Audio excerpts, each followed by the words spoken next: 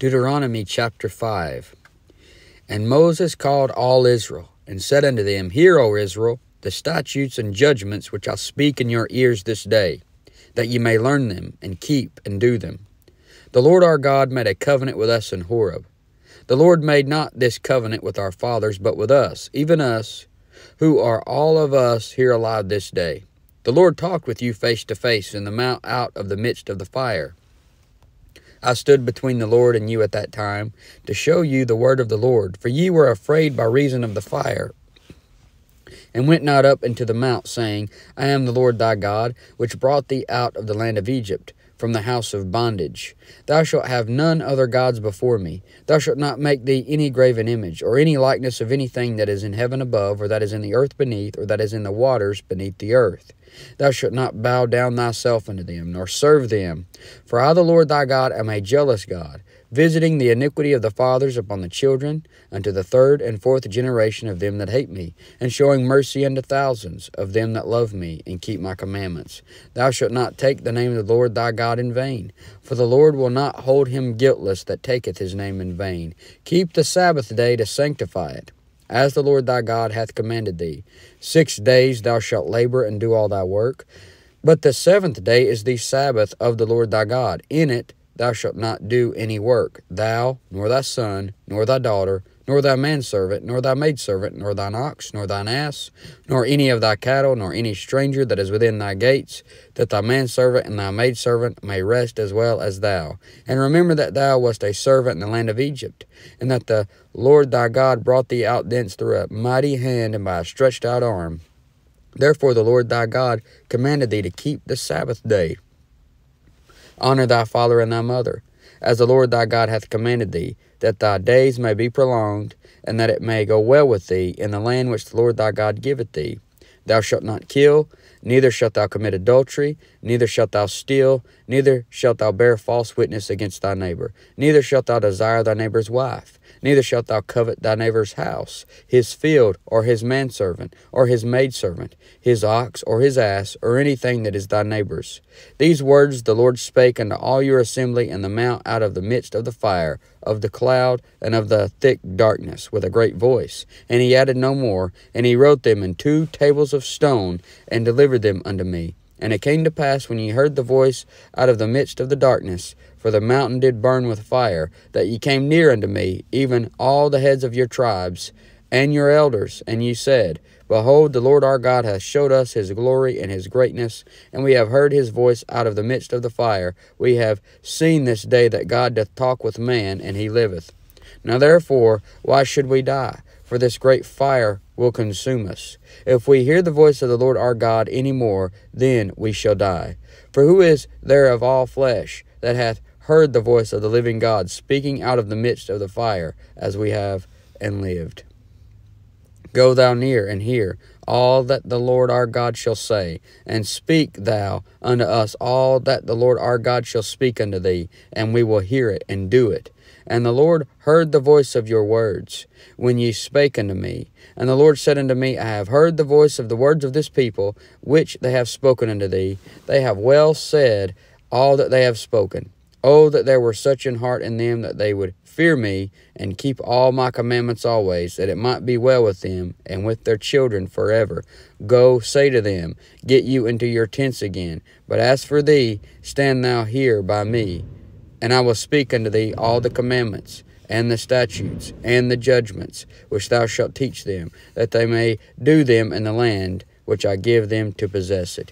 Ye shall observe to do therefore as the Lord your God hath commanded you. Ye shall not turn aside to the right hand or to the left. Ye shall walk in all thy ways which the Lord your God hath commanded you, that ye may live, and that it may be well with you, and that ye may prolong your days in the land which ye shall possess. Deuteronomy chapter 6.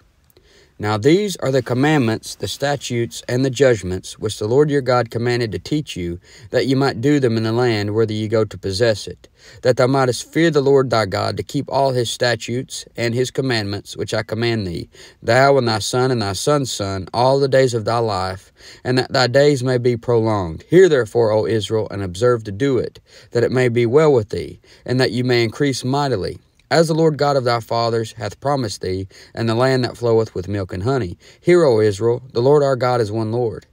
And thou shalt love the Lord thy God with all thine heart, and with all thy soul, and with all thy might. And these words which I command thee this day shall be in thine heart. And thou shalt teach them diligently unto thy children, and shalt talk of them when thou sittest in thine house, and when thou walkest by the way, and when thou liest down, and when thou risest up. And thou shalt bind them for a sign upon thine hand, and those shall be as frontlets between thine eyes, and thou shalt write them upon the posts of thy house and on thy gates. And it shall be when the Lord thy God shall have brought thee into the land which he sware unto thy fathers, to Abraham, to Isaac, and to Jacob, to give thee great and goodly cities which thou buildest not, and houses full of all good things which thou fillest not, and wells digged which thou diggest not, vineyards and olive trees, which thou plantest not. When thou shalt have eaten and be full, then beware lest thou forget the Lord, which brought thee forth out of the land of Egypt from the house of bondage. Thou shalt fear the Lord thy God and serve him, and shalt swear by his name. Ye shall not go after other gods of the gods of the people which are round about you, for the Lord thy God is a jealous God among you, lest the anger of the Lord thy God be kindled against thee, and destroy thee from off the face of the earth. Ye shall not tempt the Lord your God, as ye tempted him in Massah. Ye shall diligently keep the commandments of the Lord your God, and his testimonies, and his statutes, which he hath commanded thee.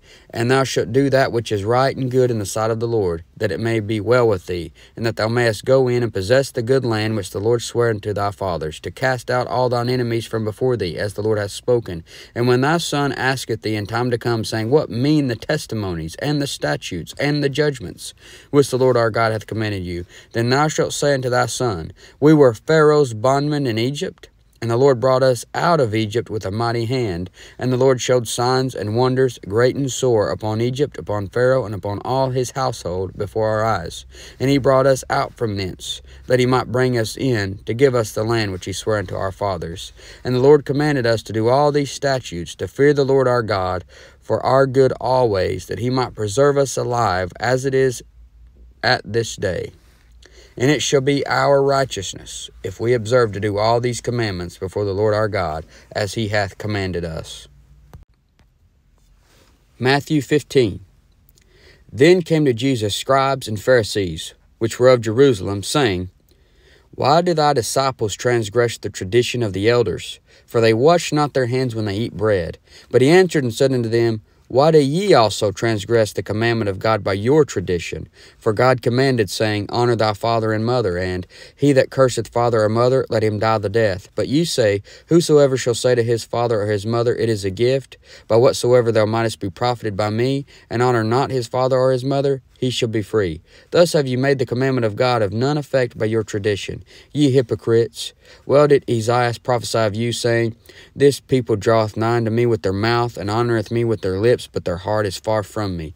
But in vain they do worship me, teaching for doctrines the commandments of men. And he called the multitude and said unto them, Hear and understand, not that which goeth into the mouth defileth a man, but that which cometh out of the mouth, this defileth a man. Then came his disciples and said unto him, Knowest thou that the Pharisees were offended after they heard this saying? And he answered and said, Every plant which my heavenly Father hath not planted shall be rooted up.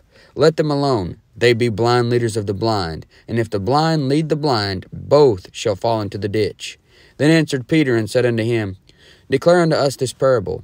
And Jesus said, Are ye also yet without understanding?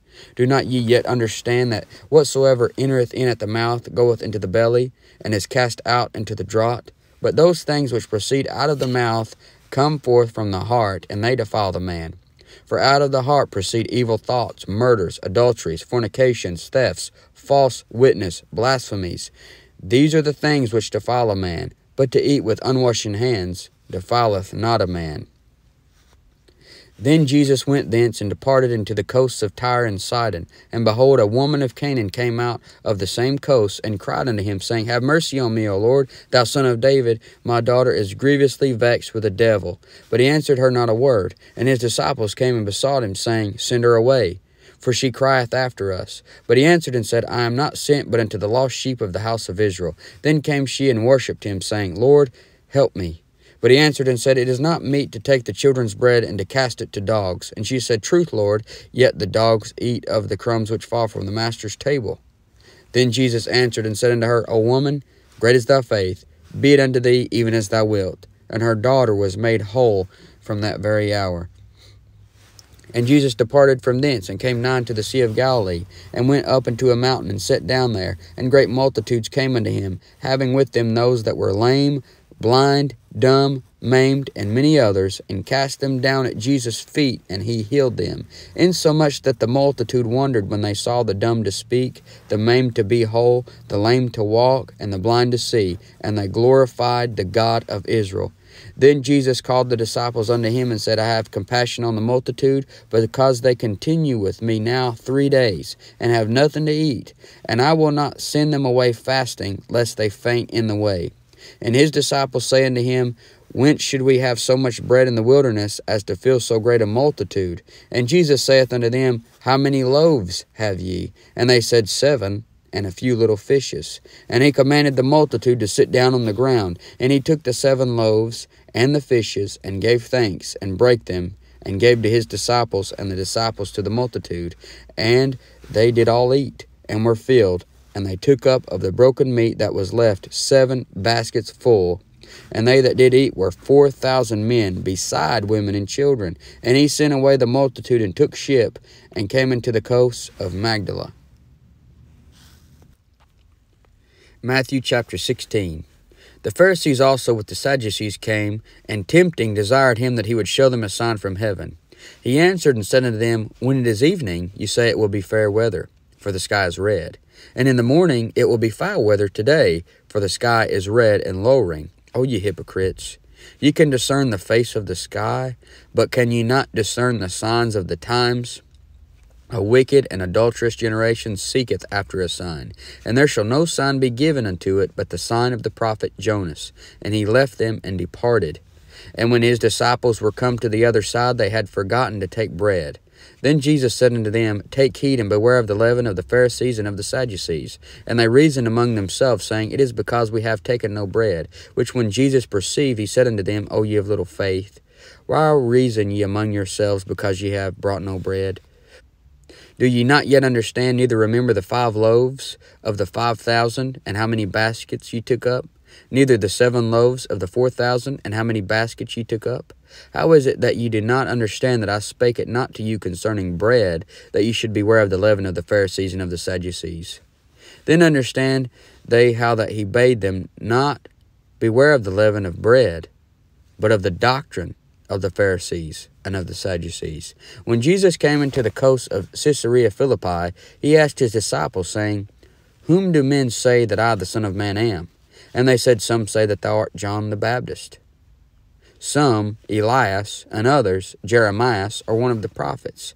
He saith unto them, but whom say ye that I am? And Simon Peter answered and said, Thou art the Christ, the Son of the living God. And Jesus answered and said unto him, Blessed art thou, Simon Barjona, for flesh and blood hath not revealed it unto thee, but my Father which is in heaven. And I say also unto thee, that thou art Peter, and upon this rock I will build my church, and the gates of hell shall not prevail against it. And I will give unto thee the keys of the kingdom of heaven, and whatsoever thou shalt bind on earth shall be bound in heaven, and whatsoever thou shalt loose on earth shall be loosed in heaven. Then charged he his disciples that they should tell no man that he was Jesus the Christ. From that time forth began Jesus to show unto his disciples how that he must go into Jerusalem and suffer many things of the elders and chief priests and scribes, and be killed and be raised again the third day. Then Peter took him and began to rebuke him, saying, Be it far from thee, Lord, this shall not be unto thee.